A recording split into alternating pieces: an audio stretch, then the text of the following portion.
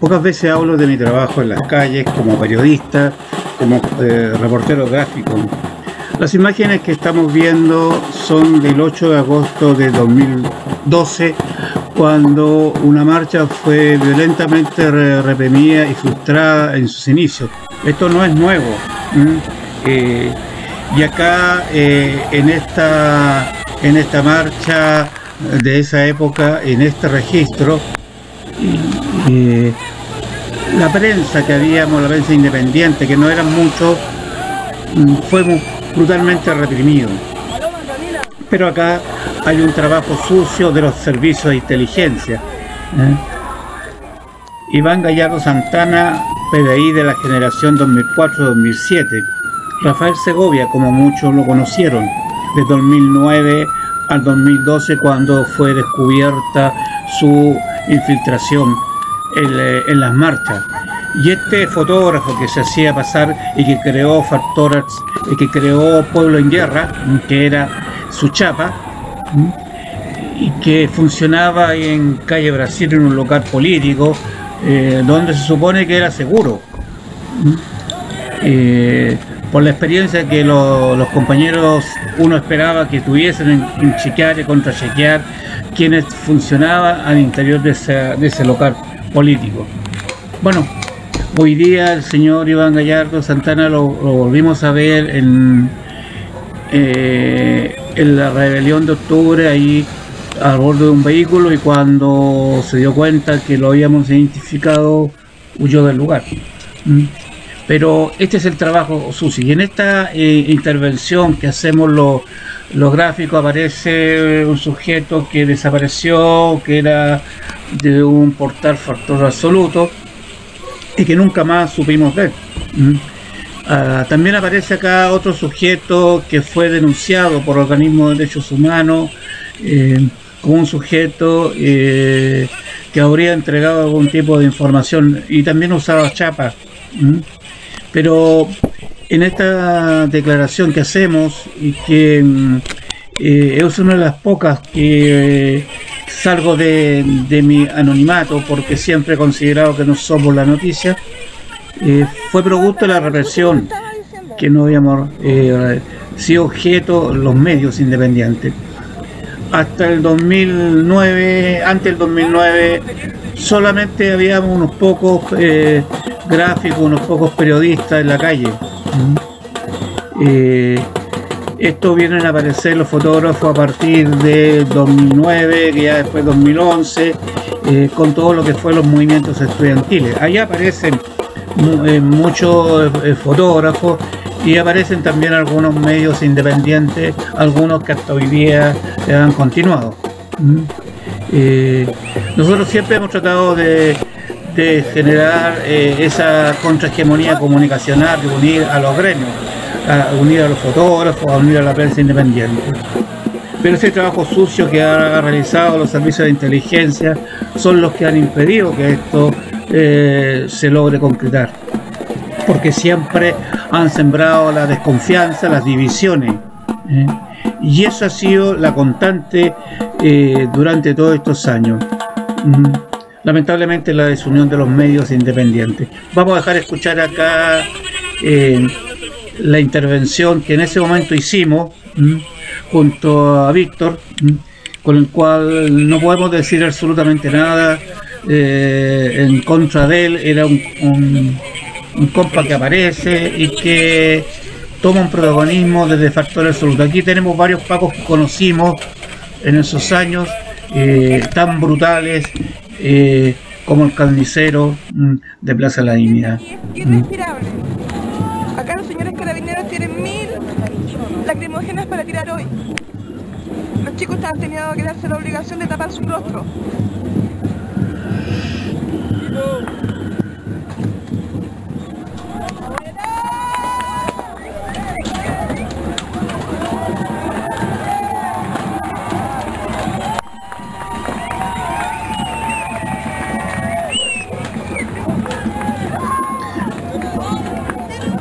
La rebelión de octubre es consecuencia de todas estas luchas, de todas estas movilizaciones. No es algo que nace propiamente el, 18 de octubre. es la acumulación de las luchas. Y en esa acumulación de las luchas los estudiantes han sido un eh, factor primordial, un factor importante en las movilizaciones y en el alza de las conciencias eh, de lucha de los movimientos sociales. Y han sido los secundarios quienes se han organizado. Y cuando se organizan aparecen las fanfarrias, aparece toda esta parafernalia eh, eh, que vemos en, el siguiente video con los bombos, los platillos, eh, que en mí tiene cierta mística, pero también baja la intensidad de la lucha.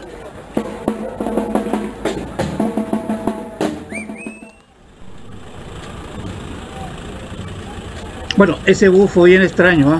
cuando fue quemado porque apareció en un lugar que no debía haber aparecido. Pero mm,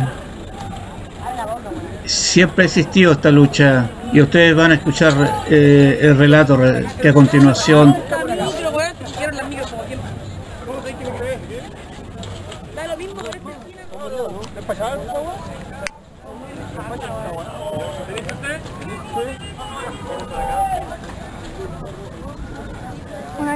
Santiago acá, curioso porque resulta que este recorrido y este tipo de transporte no pasan por esta calle.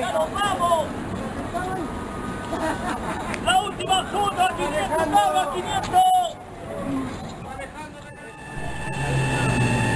Los primeros observadores aparecen eh, justamente en el 2012.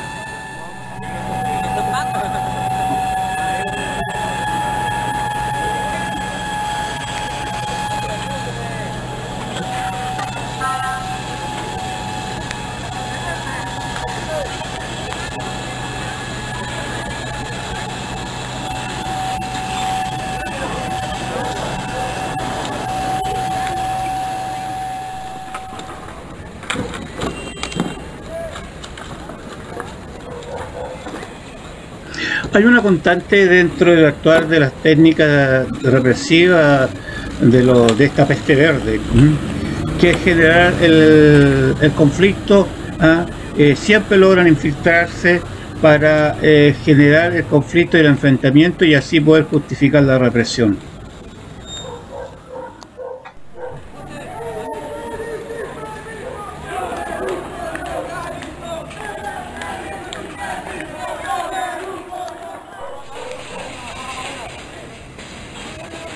Obviamente en estas movilizaciones no estaba ni Camila Vallejo ni Gabriel Bori, y mucho menos Jackson, que siempre Jackson se desaparecía cuando veían las marchas y la represión. Esto estaba en la cara, nosotros ya estábamos adentro, nos habían encadenado y el Paco se paró como a 20, 25 metros a dispararnos de estos, de balines de, de pintura. A discreción, la gente ya estaba cubierta, igual disparaba. Era solamente el, carabinero que tenía la, la pistola. Con esta cadena no había cerrado. Espera, porque van a. Le vamos a ir para arriba punto. Ahí cerrado. Esta cadena lo había cerrado acá. Ahí está el candado. Sí, ahí, sí, ahí está. Acá estamos en la fecha. Ahí va el Pablo que está disparando, mira que no voy a Ahí está, ahí está.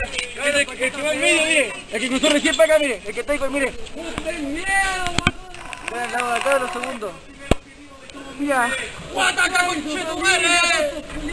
Bueno, en ese, en ese, en ese, en ese momento Carabinero utilizaba eh, estas pistolas, eh, eh, estas lanza, lanza pinturas con balines, pero ellos le agregaban balines de acero, a, lo cual el impacto era fuerte en, la, en la gente, en los manifestantes, aparte que quedaban marcados con la pintura. Aquí estamos en el local de la FES al interior.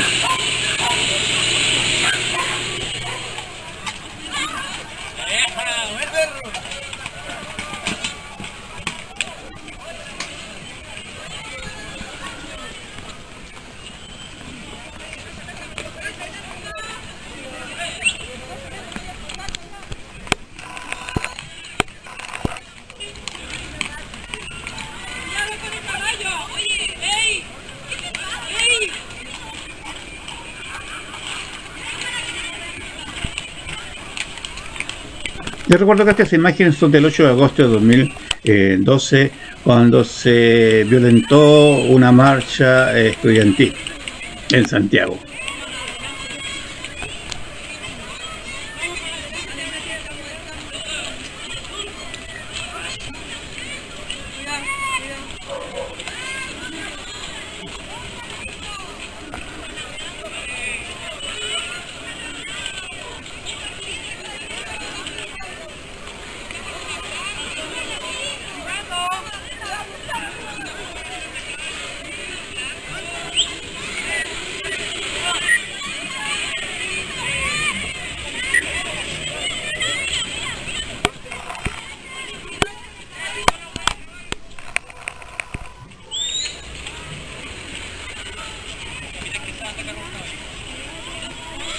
Un recuerdo a la compañera Ramona, que desde esos años ha estado en la calle como observadora de los derechos humanos.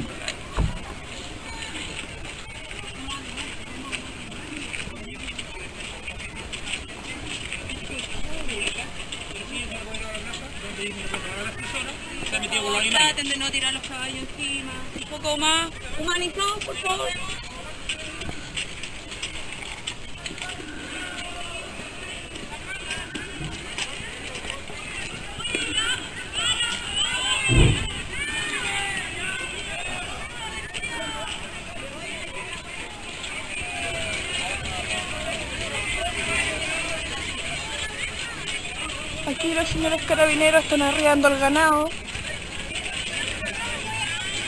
Parecen ganado los chicos acá.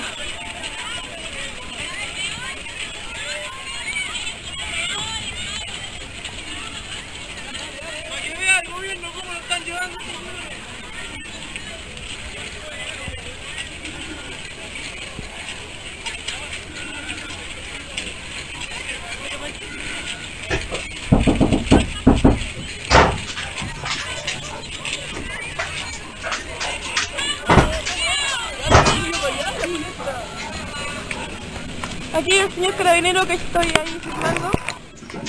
Me pasó el caballo por encima de un chico.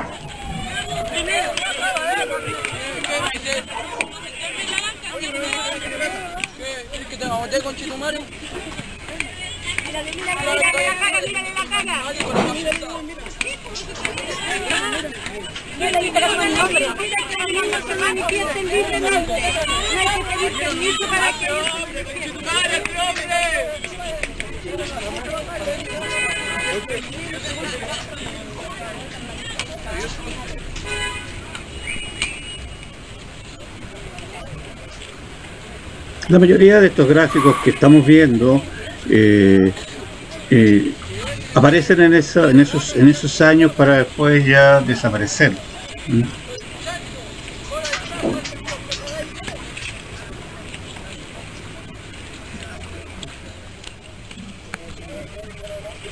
Bueno, ahí tenemos un viejo amigo, fotógrafo, compañero de los antiguos.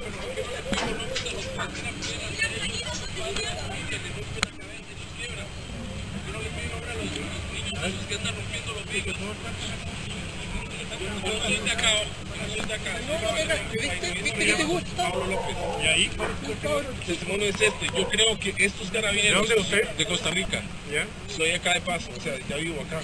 A mí me duele ver que un carabinero que sale de su casa, ¿sí? lo esperan los hijos en la noche, sale a trabajar, porque esta marcha hasta donde yo sé no es autorizada. Le rompen un ojo, los quiebran o, o les tiran cosas o simplemente se vienen entre todos y, y los dañan a ellos. O sea, yo creo que ellos tienen derecho a volver a su casa. Estos mismos caballeros que salen a trabajar todas las noches le pegan con escopeta a los niños en los mapuches, en el sur. Ellos, esos caballeros con escopeta, escopetan a los niños en el sur, que son mapuches. Tienen 10 años, 14 años. Ellos no piensan eso, no piensan como usted. Ellos no ocupan la razón, caballero. Despierte, despierte. que. Yo tengo derecho a hablar también.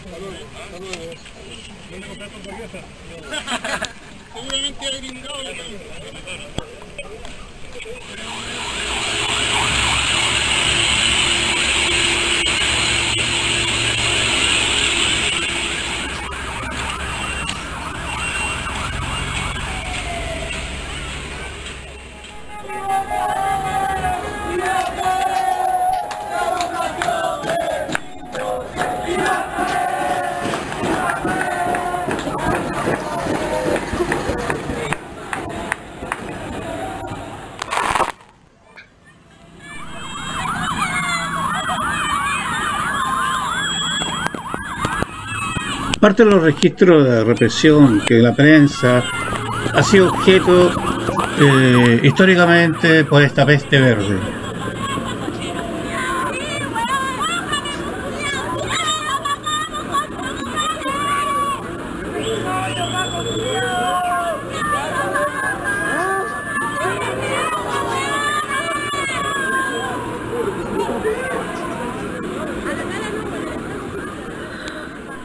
Como ustedes dijeron recién, los encapuchados volvieron este minuto. Bueno, eh, él es visto de factor absoluto, un personaje que aparece en esos, en ese año y después eh, logra cierta notoriedad para desaparecer.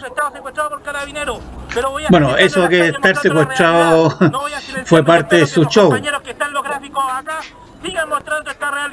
Pero era un compadre que estaba ahí. Este. No queremos más un Bari en la calle, no queremos más un González en la calle. Queremos que Fuerzas Especiales cumpla su. Bueno, aquí se refiere a un personaje como era Bari, a un sádico, peor que el carnicero de Plaza Dignidad. Podría ser un comunicador social, pero también soy un ciudadano. Y hoy día me hago presente como las dos formas. El derecho de hablar lo tengo desde que nací en este país libre.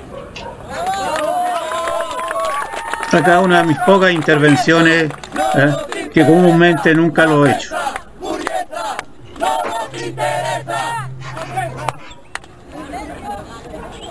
A los gráficos nos están reprimiendo.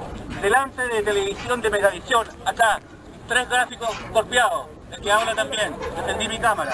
Yo soy periodista, pero no soy objetivo. Un periodista no puede ser objetivo cuando ve que se está golpeando a, ni a mujeres, cuando se está golpeando a jóvenes, ¿ah? como lo que aconteció ayer- en la sede de la UDI. No se puede ser objetivo. ¿ah? Y esa prensa burguesa, esa prensa cómplice, ¿ah? y, da, y da vergüenza ver al colega de, de la radio Bio Bio mintiendo. ¿ah? Da vergüenza. Yo estaba acá cuando justamente los muchachos estaban golpeando a los pacos. ¿Y por qué lo estaban golpeando? No dicen nada, porque justamente habían golpeado a una niña. Esa fue la re- reacción, y una reacción legítima, cuando esta represión los quiere ahogar. La prensa burguesa no nos interesa. La prensa burguesa no nos interesa. La prensa burguesa no nos interesa.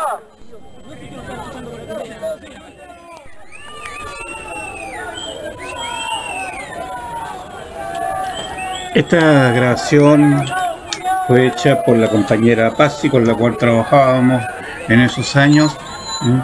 Una compañera eh, leal, una compañera que siempre estábamos ahí. Y, estos registros ¿m? eh, los queremos hoy día eh, rescatar y sacarlos de los archivos. Vamos a ir desclasificando otros archivos de esos años. ¿m? pero que quede muy claro que la labor de la prensa independiente es fundamental, justamente para denunciar eh, estas prácticas abusivas de la policía chilena. Radio TV Liberación, eh, primera línea. Eh, somos parte de esa historia. Eh, como Radio TV Liberación, como Fotopress en esos años, hemos estado desde junto a- al recordado amigo y compañero Zúñiga, éramos los pocos eh, periodistas gráficos que estábamos en las calles en esos años. Un gran abrazo desde la distancia cada uno de los colegas y de los compañeros.